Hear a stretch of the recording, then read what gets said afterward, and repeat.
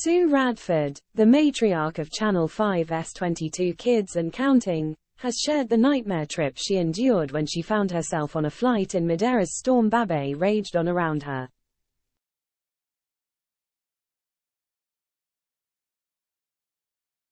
The star, who keeps fans updated on her antics with her extraordinarily large family via Instagram, checked in with her 517,000 followers today to share a video from the plane.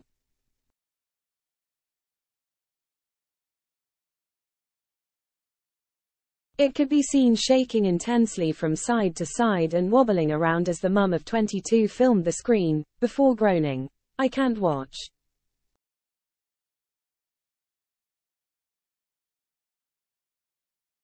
She captioned the footage. This was us trying to land during Storm Babet. This was the first attempt before the pilot aborted landing.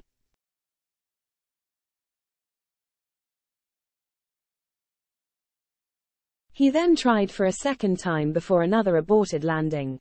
We then got diverted to Birmingham as he just couldn't safely land the plane in Manchester. These pilots are amazing.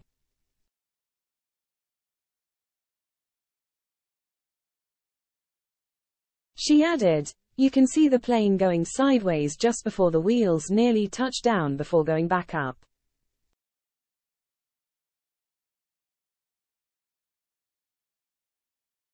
I'm not a nervous flyer, but this was bad, she concluded in memory of the terrifying episode.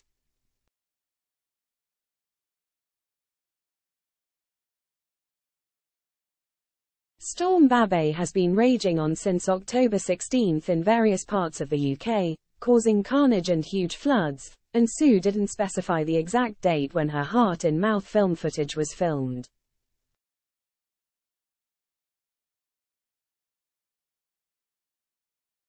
However, as her brood have been pumpkin carving at a Haven holiday park in Britain this week, it seems likely that the flight she posted footage from was the one heading home from Dubai earlier this month.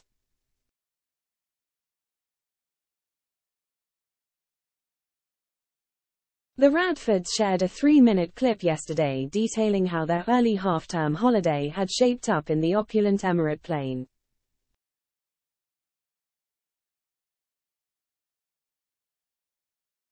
Sue and her husband Noel looked delighted to have arrived in the desert, donning traditional headgear and embarking on a camel ride, before Noel surfed his way down a sand dune, leaving his wife in hysterics.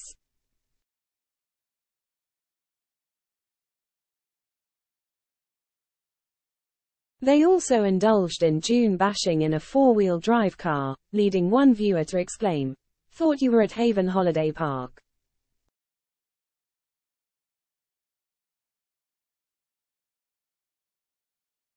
Sue clarified, this was filmed the other week, while the fan responded, confusing, lol.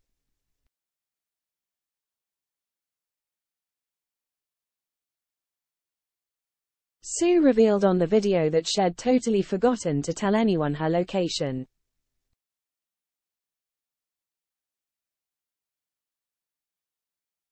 As you can probably tell we are definitely not in England. She joked, before giving away that the camel ride was taking place in Dubai.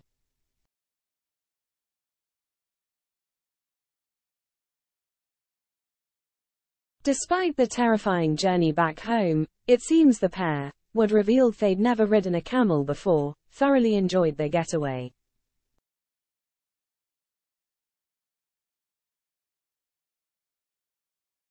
Prior to that, they were holidaying in Florida with members of their huge brood, when Sue ran into trouble again, this time at a restaurant after accidentally choking on a prawn.